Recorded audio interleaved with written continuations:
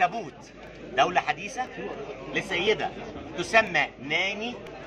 بنتكلم على 3400 سنة عمر تقريبا. الموميا بداخل الكرتوناج ده في حالة أكثر من رائعة.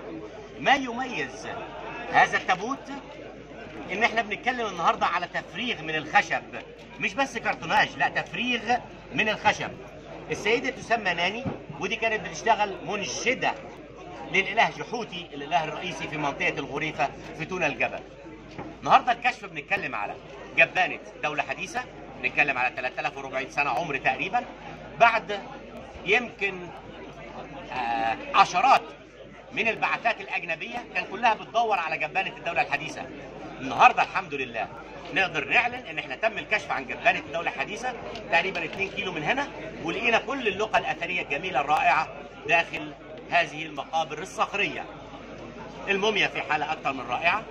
مش بس الموميا الوحيدة والكرتوناج الوحيد والتابوت الوحيد اللي لقيناه لا إحنا لقينا كم كبير جدا. من التماثيل منها الملون منها الخشب المزهب منها تماثيل لبتاع سكر منها كمان للإلهة الإلهة نوت. لقينا كم كامل من الأواني الكانوبية في حالة أكثر من رائعة بعضها كمان ملون ولأول مرة. أنا ذكرت حاجة عن البرديات. وكان النهاردة أحب أنوه عن البردية دي.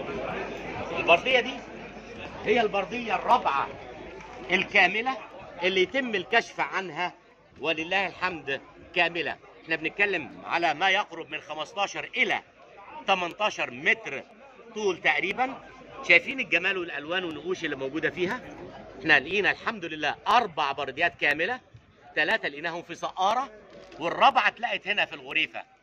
الرابعة دي إن شاء الله المتحف المصري الكبير هيعرض هذه المومياء عنده. طب الم... البردية رقم واحد كانت معروضة في المتحف المصري في التحرير واحد متحف في العاصمة.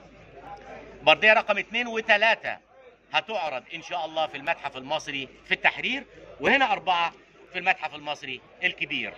دول البرديات الأربعة الحمد لله البعثات المصرية. وكان لي الشرف إن أنا أبقى رئيس لهذه البعثات المصرية ولله الحمد.